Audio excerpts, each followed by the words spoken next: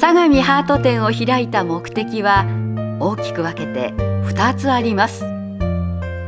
一つは精神に障害のある方の社会参加が広がることを願うとともに。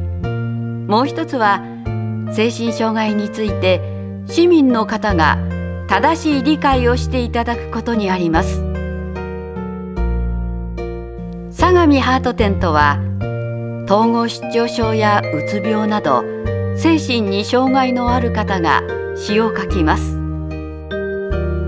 その詩を題材に一般画家や中学生が絵を描いて一緒に展示するものです。障害のある方の思いが社会に届き人と人との交流が生まれ障害への理解が広がることを願っているのです。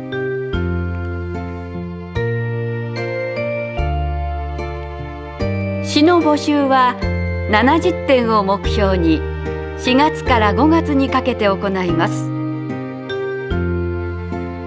心のこもった詩が寄せられます。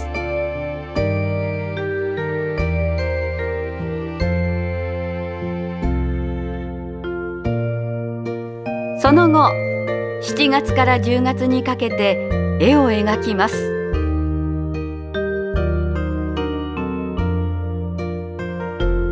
そして相模ハート展は11月下旬に開催します。詩と絵が重なる思いを見つめます。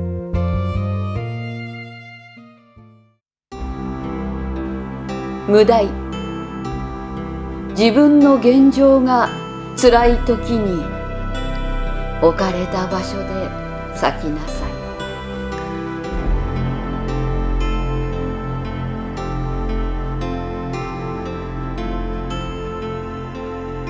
私はすべての人が幸せでありますようにと思って書きました。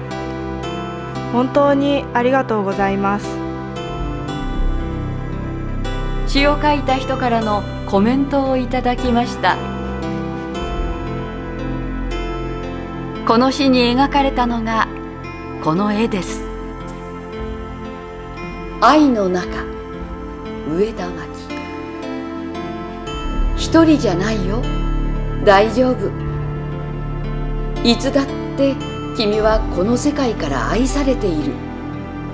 泣きたくなった時怒りに震える時嬉しくて喜びの中にいる時思い出してこの世界はいつだって君を愛しているんだってことを。君は生きている。今ここに存在している。それがこの世界に愛されている証だからその命どうにか大事にしてね。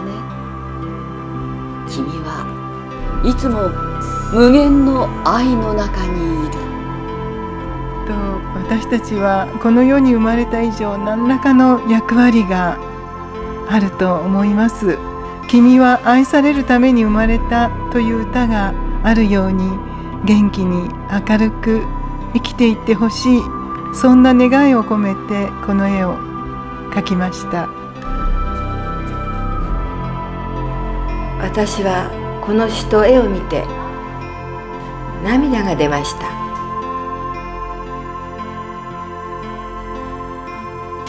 相模原市立上溝南中学校の生徒も絵を出品しました。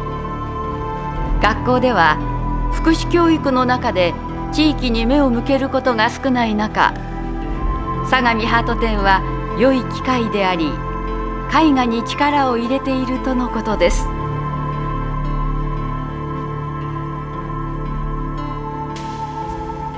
安中も咲くという言葉があってその言葉はその暗闇の中でも手探りで探探していくっていう意味の言葉でそんなことを絵にできたらいいかなと思って書きました。怖い。山口由美子。常に襲われる感情。怖い。己に関するもの。他人に関するもの。生きる上での怖さ。前向きに恐怖を味方につけようと模索中。生きてやる。あの私の不安感をよくあの分かっていただけてあのとても素晴らしいように書いてもらってありがたいと思います。いつもね一つ一つの詩を朗読させていただいてもう胸が熱くなってね涙がこう溢れそうになる場面もあります。でまたあの絵がですね皆さん上手にうまく表現してるんでこれもですねあの偉そうに言うわけじゃないので感心しながらいつも楽しく見させていただいています。首から上しか動かない女性も絵を描きました。花は大好きです大事なよう。に描いてます。こういうところに飾っていただいただけでも一番とても幸せです。相模ハート展を通して障害のある方の社会参加が広がり一般の方の精神障害についての理解が深まることを願っていますそれには何より相模ハート展を継続することにあります。